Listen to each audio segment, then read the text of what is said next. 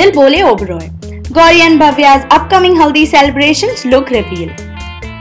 Dil Bole Oberoi is leaving no stone unturned to entertain viewers with high voltage dramatic sequence. The current storyline is focusing on Buama's revenge intentions against Omkara to gain her Ratan back by hook or by crook. Buama will thus try to reunite Omkara and Gauri so that they consummate their marriage. Then Buama can take away Omkara and Gauri's child, completing her revenge mission. Further, as seen earlier, Shivaay Anika, Omkara Gauri, and Rudra and Bhavya's marriage festivity is going on full swing. After the Mehndi ceremony, viewers will get to witness Haldi ceremony of Gauri and Bhavya. It would be really interesting to see the upcoming twist in Gauri and Bhavya's Haldi ceremony. What do you have to say on this? Leave in the comments below. And to know more, please subscribe our channel TV Prime Time.